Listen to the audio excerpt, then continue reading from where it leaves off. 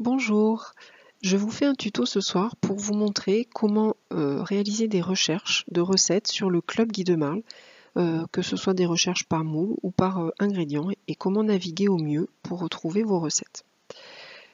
Donc, dans votre navigateur, vous pouvez taper dans la barre de recherche l'adresse qu'il vous faudra retenir et qui est la seule adresse pour rentrer dans l'univers de Guy de Marle. Il s'agit de guidemarle.com je tape ensuite sur Entrée et j'arrive ici sur la page d'accueil du Club Guy Marle. sur cette page d'accueil, vous retrouverez ici un champ pour permettre une recherche libre. Vous avez ici un onglet sur lequel je reviendrai avec des recettes, le magazine, euh, donc le mag, euh, où vous retrouverez des articles qui sont publiés toutes les semaines euh, sur différentes thématiques, différentes tendances du moment. Par exemple, euh, un article sur la fête des mères, un article sur le chocolat, un article sur euh, euh, comment, mieux conserver, etc. Ce type de thématique. Et un lien ici vers la boutique.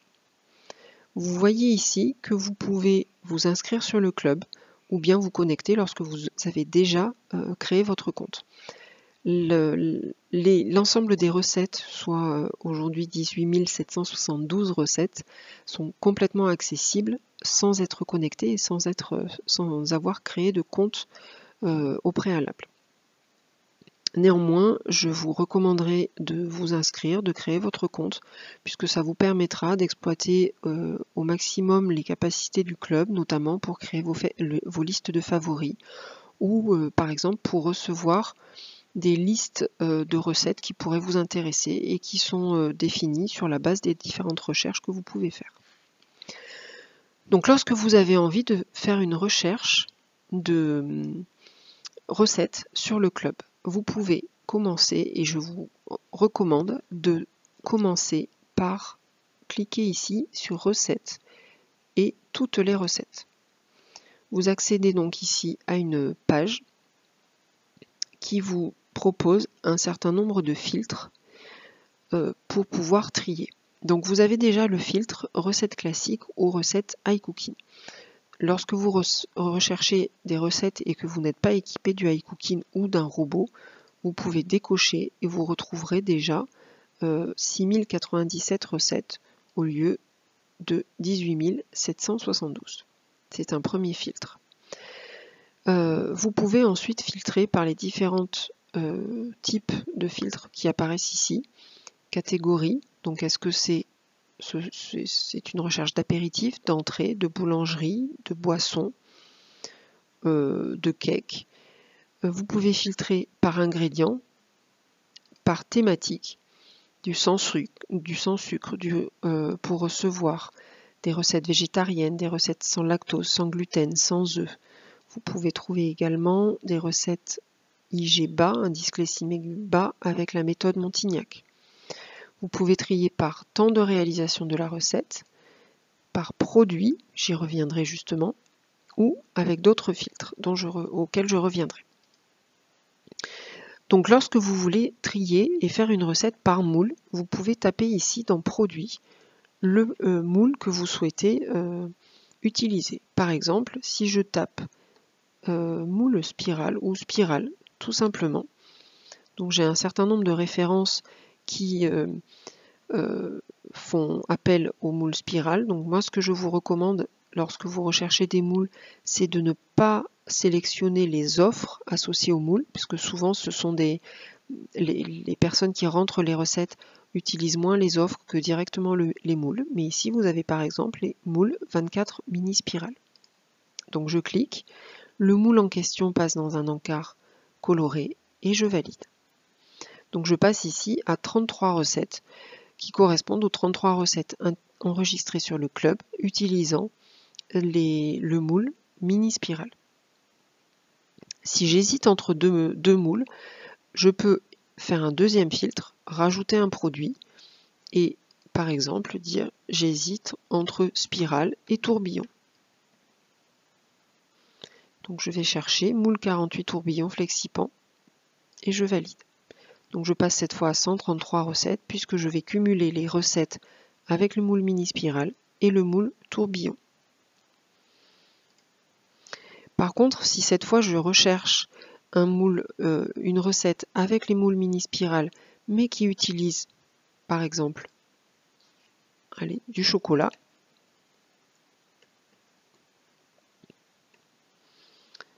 du chocolat au lait, pour l'exemple, je valide. Et là, je n'aurai plus qu'une seule recette puisque j'ai trié à la fois les recettes moules demi-spirale avec du chocolat. Et je vois une seule recette apparaître. Je peux désélectionner à tout moment les filtres en cliquant ici ou en cliquant, en revenant, soit en effaçant ici, soit en décliquant ici. Donc si vous recherchez l'ensemble des recettes du club qui utilisent du chocolat au lait, vous en trouverez 335. Si vous cherchez l'ensemble des recettes du club qui utilisent du chocolat au lait avec une thématique, pardon, j'ai cliqué à côté, euh, sans gluten, vous en trouverez 7. Voilà le principe des filtres. Donc la recherche que j'appelle euh, vide frigo, par exemple, qui est très très pratique. Lorsque je cherche, j'ouvre mon réfrigérateur, je ne sais pas quoi préparer. Je vois que j'ai par exemple, en ce moment j'ai une betterave dans mon réfrigérateur, une betterave cuite. Je valide pour valider le filtre et je vois apparaître ici euh, toutes les recettes à base de betterave cuite. Vous voyez qu'on a un petit encart sur certaines, recettes, un encart high ou aucun encart du tout. Euh, c'est pour nous, montrer les recettes euh, qui font partie du filtre recette high ou non. Donc pour celles qui sont propriétaires, heureuses propriétaires, celles et ceux d'un high en cliquant sur la recette, vous allez retrouver déjà d'une part les catégories auxquelles appartiennent les recettes, catégories et thématiques, vous aurez tous les éléments associés à la recette et vous retrouverez ici un onglet qui s'appelle Envoyer vers mon iCooking. Ça vous permet d'envoyer votre recette vers le iCooking et vous la retrouverez euh, sur votre écran, soit quand vous allumerez votre iCooking, soit de suite lorsque l'iCooking est déjà, est déjà allumé. Je reviens à la page de recettes.